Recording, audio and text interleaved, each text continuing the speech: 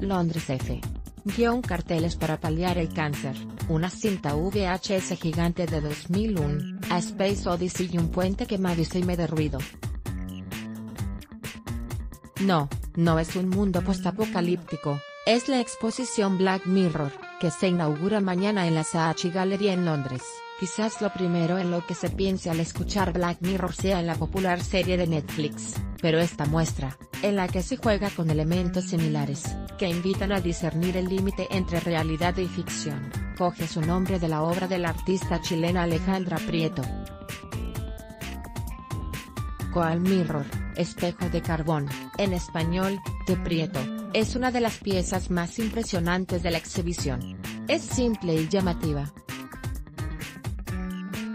un espejo de 3 metros de altura hecho de carbón. No hay reflejo, no hay realidad. Simplemente la dureza y oscuridad de un espejo que no muestra más que lo que el propio espectador quiera imaginarse.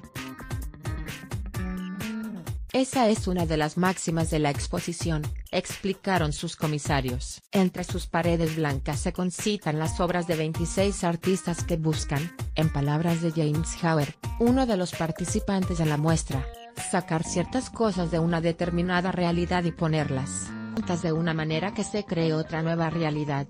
Entiendo mi trabajo como una especie de investigación de lo que está pasando en el mundo, aportó Howard en declaraciones a EFE. Este creador, nacido en Canterbury, Inglaterra, llena una de las paredes de la Saatchi con decenas de carteles que representan el correo basura, y la falta de control en Internet que existía hace 10 años en la red. De este modo, los carteles muestran curas milagrosas contra el cáncer, anuncios religiosos y ritos macabros, que cualquiera que habitase el mundo web hace 15 años pudo haber recibido en su bandeja de correo. Eran anuncios que te llamaban a protestar contra algo. Normalmente, mostraban algo que te irritaba o te parecía ilegal.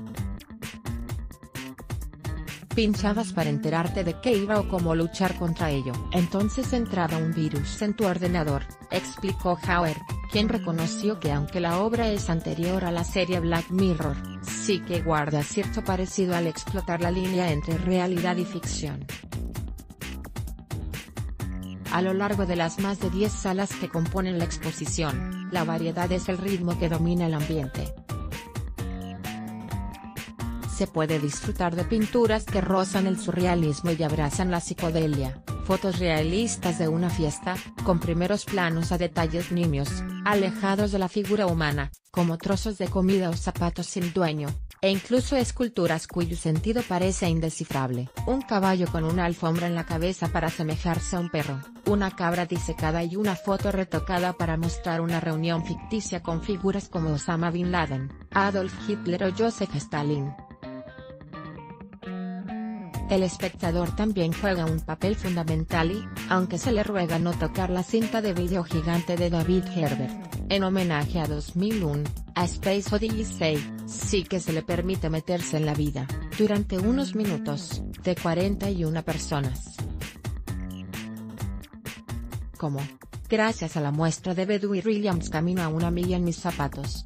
En esta instalación, los asistentes podrán ponerse 41 zapatos, de todo tipo, desde botas a chanclas, cada una asociada a una historia que va atada a los cordones